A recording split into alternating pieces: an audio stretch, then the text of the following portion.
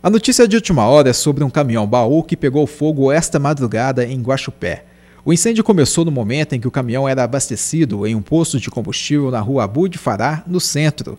O frentista percebeu que saía fumaça da carroceria do veículo e, imediatamente, o motorista tirou o caminhão do posto.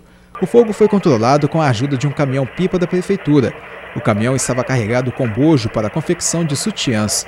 Ainda não se sabe o que teria provocado o incêndio, o motorista disse que o baú não foi aberto desde que foi carregado em Juruáia.